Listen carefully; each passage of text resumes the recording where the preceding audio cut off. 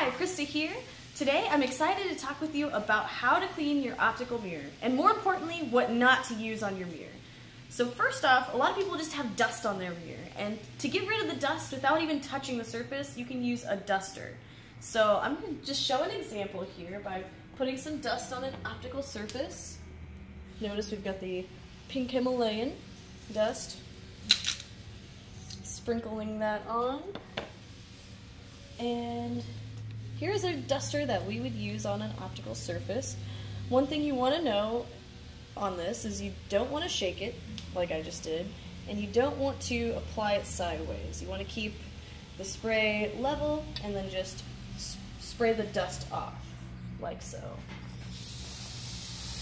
So that will get most of the debris off and handle all the dusting.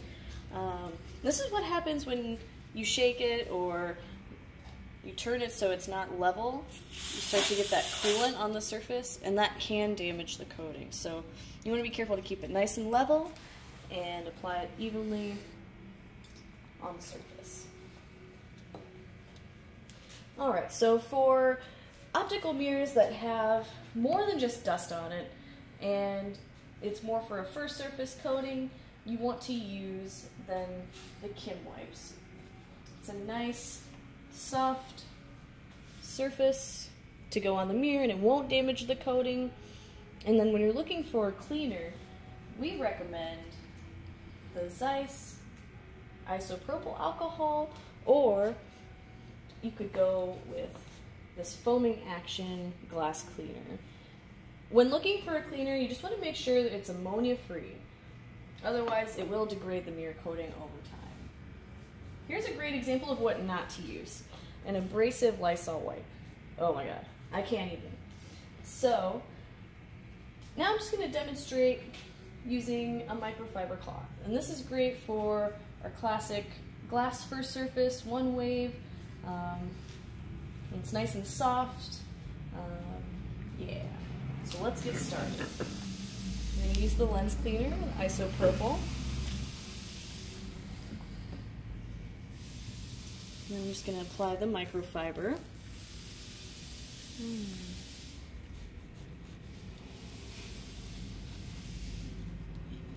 I'm going to pick it up, polish it off.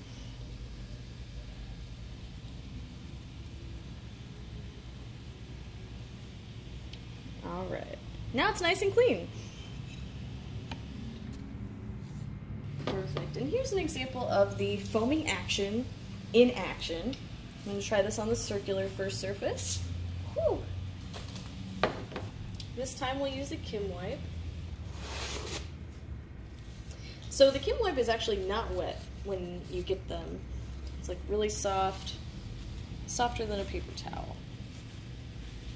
And then you would just smooth that over the surface. You may need more than one to really get it nice